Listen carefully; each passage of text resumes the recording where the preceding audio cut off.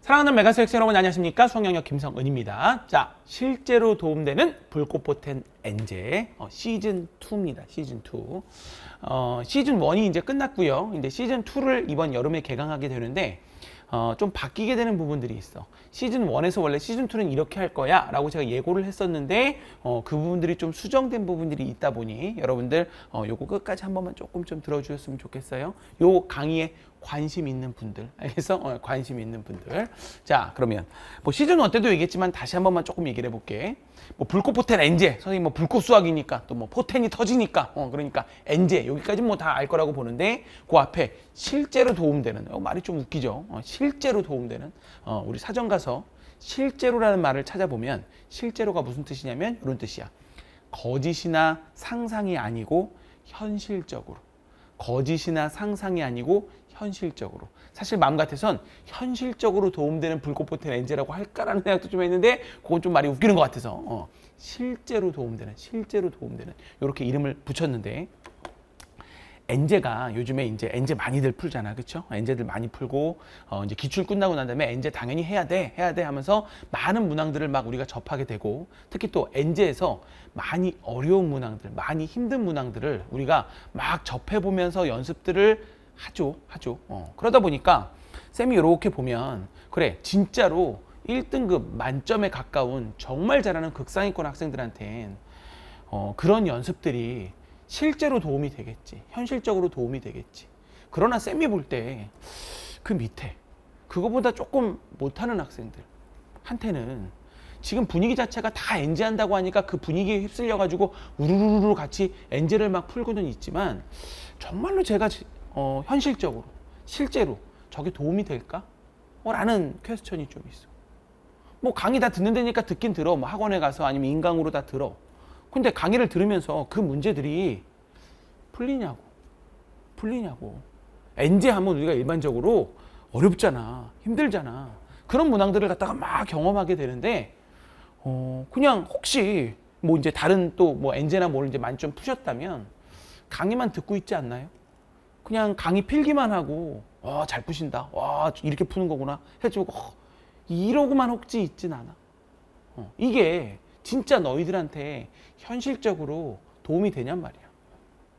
난 진짜 이렇게 생각해. 차라리 그 시간에 그거 들으면서 필기할 시간에 3전 문항, 3전 문항 한 다섯, 여섯 개, 열개쫙 빠르게 풀면서 정확하게 푸는 연습을 하는 게 실제로 현실적으로 더 도움이 된다라고 생각해.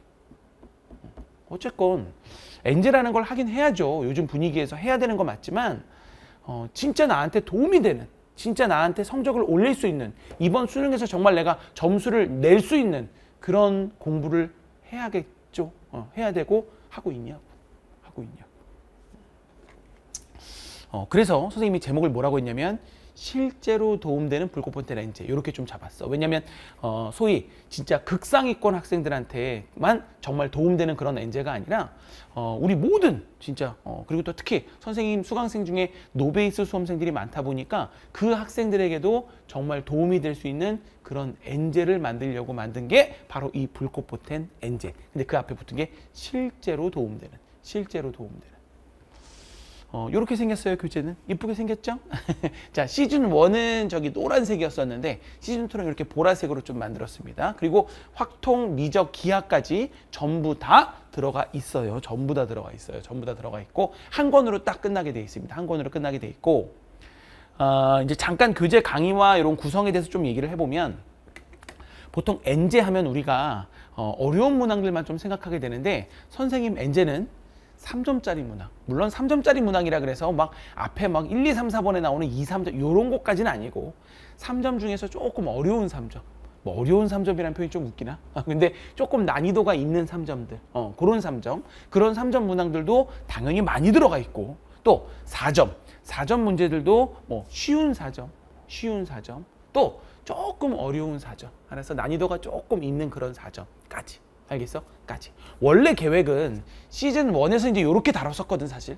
그 시즌 2로 넘어오면서 난이도를 확 좀 올리려고 그랬어.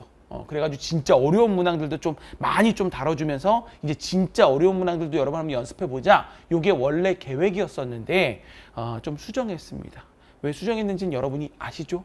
그래서 어, 아주 어려운 문항들은 이제 대거 다 드러내고 그 다음에 거기서 그 문항들을 조금 더 쉽게 바꾸고 그 다음에 어, 또 정 너무너무 어렵게 좀 만들어서 어, 이건 안 되겠다는 문항은 아예 뺐습니다. 아예 빼고 여러분 진짜 이번 수능에 최적화되게 어, 어려운 3점, 그 다음에 어, 쉬운 4점, 그 다음에 조금 어려운 4점. 알겠어요? 예, 네, 요 정도. 요 정도를 가지고 여러분한테 정말 트레이닝 시켜드리려고. 알겠어? 어, 그래서 이렇게 할게 그냥 시즌 1과 비슷한 난이도예요. 시즌 1에서 원래 이렇게 하고 시즌 2에서 난이도 팍 올리는 게 원래 계획이었는데 어, 시즌 1과 시즌 2 똑같아요. 알았죠? 네, 똑같습니다. 똑같습니다. 그래서 이렇게 난이도 그대로 유지해가지고 갈 거다라는 거, 갈 거다라는 거. 그 다음, Day 문제 구성을 내가 얘기를 하는데 시즌 1 때는 사실 한 Day마다 공통 11문제, 선택 4문제, 총 15문제를 하루에 풀게 이렇게 딱 구성을 했었는데 막상 이제 그 시즌 1때 학생들을 보니까 그걸 하루에 소화하는 걸 조금 힘들어 하더라고. 어, 만만치 않아 하더라고. 그래서 자꾸 그걸 데이를 쪼개서 듣는다던가 아니면 막 선택은 안 듣고 막 뭐 공통만 듣는다던가 좀 이런 학생들이 꽤 많더라고요. 어, 그래가지고 어, 아이들한테 좀 물어봤어. 물어봤더니 아이들이 아우 쌤 이거 열다섯 개가 은근히 빡세요 막 이러더라고. 그래서 어, 안 되겠다 해가지고 어, 시즌2에서는 열개로 바꿨습니다. 열개 열문항 그래서 공통 여덟 문항 선택 두문항 그러니까 공통 여덟 문항 중에서 어려운 삼 점 두문항 그다음 여섯 개는 어, 이제 사점 문항 사점에는 당연히 여섯 개 중에서 조금 쉬운 사점 조금 어려운 사점 알겠어? 이렇게 잘 섞어가지고 여러분들이 정말 하루에 어, 3점, 4점 문항들을 확실하게 연습해 볼 수 있게 또 선택 두 문제도 마찬가지 선택 두 문제도 뭐 하나는 조금 쉬운 거 하나는 또 조금 난이도가 있는 거 해가지고 여러분들이 잘 또 선택 문항까지 같이 한 반에 한 방에 어, 저기 데이에 딱 완성할 수 있게 이렇게 열 문항으로 구성했고 총 12회차를 구성했습니다. 그러니까 120문항인데 여러분들이 뭐 Day 12 해가지고 뭐 진짜 이게 완강된 이유는 이제 뭐 저기 9월 뭐 이제 뭐야 뭐 구평 전에 완방, 완강시킬 건데 그 이후에 만약에 푸는 사람들은 당연히 뭐, 뭐 이제 12일 만에도 들을 수 있겠죠. 어, 그러나 이제 지금 이제 요게 여름에 개강할 거고 선생님이 일주일에 한 두 강, 세 강 정도씩 올릴 거예요. Day를. 그러니까 올라오는 족족 같이 들으면서 따라오면 좋을 것 같아요. 알겠죠? 어, 그러면 아주 아주 좋을 것 같아요. 선생님이 다 잘 하여튼 해설해 줄 거고 여러분들이랑 같이 잘 어, 여러분 성적 올리게 해줄 거고 또 이번 수능에서 여러분들 정말 문제 많이 풀면서 실수 안 하는 연습도 하셔야 돼. 3점 문항이라고 우습게 생각하면 안 돼. 3점 문항 절대로 실수하면 안 된다. 알았죠? 4점 문항 쉬운 4점 절대로 실수하면 안 돼요. 그래서 실수 안 하는 연습 많이 해야 되기 때문에 이런 엔제가 여러분한테 정말 지금 이 시기에 어, 너무 좋을 거라고 나 확신합니다. 그래서 그렇게 다시 잘 바꿔가지고 제가 지금 사실 요걸 찍는 시점에는 만들고 있어요. 어, 만들고 있어. 원래 다 만들어가지고 놔야 되는데 지금 열심히 막 작업하고 있어. 어, 열심히 작업하고 있거든. 어, 여러분 하여튼 좋게 잘 찾아뵐 테니까 요거 믿고 잘 따라오면 될 것 같아. 자, 그러면 이제 어, Q&A에 조금 올라온 거 몇 개 한번 잠깐 얘기해 보면 어, 기출을 끝내야만 엔젤을 할 수 있나요? 라는 질문이 있는데 그래 맞지. 원래 기출을 끝내야 엔젤을 하는 게 맞아. 당연히 맞는 건데 근데 선생님의 실제로 도움되는 불꽃보텐 엔젤은 음, 그렇지 않다라고 내 생각해. 기출을 지금 하고 있다면 같이 이것도 합시다.